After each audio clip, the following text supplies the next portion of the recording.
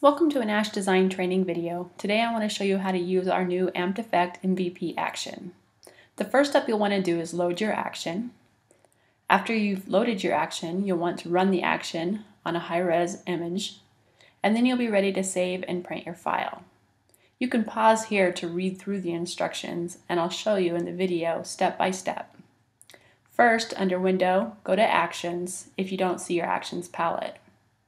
Once you load the image, action, you'll see it here. Click on the right tab to load actions, find it, and then you'll see it in your palette. From here, you just click play to run the action, and it'll automatically make changes in your layers palette. Then follow the on-screen instructions to finish the process, and go to your layers palette to make modifications Right now I'm going to duplicate the layer to add more detail to my image. And I'll turn that layer on and off so you can see the changes made there. You can make additional changes on each of the layers by double clicking on the icons and changing the sliders in the adjustment layers, making some drastic changes just to show you how the image can be changed by playing with the sliders in each of those sections. Once I'm happy with how my image looks, I'll just go back to my layers palette Choose another layer, double click on the icon, and again adjust the sliders as needed.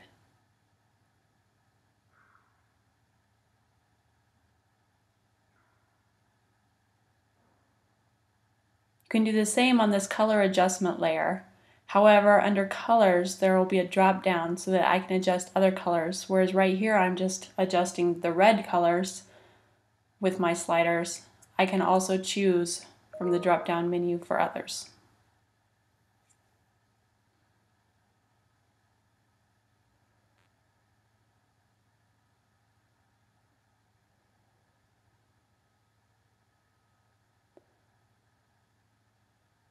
Once I'm happy with my final image, the final step is to save out the file. I recommend saving a copy of your image and then just save it as a JPEG to be able to print at your favorite lab.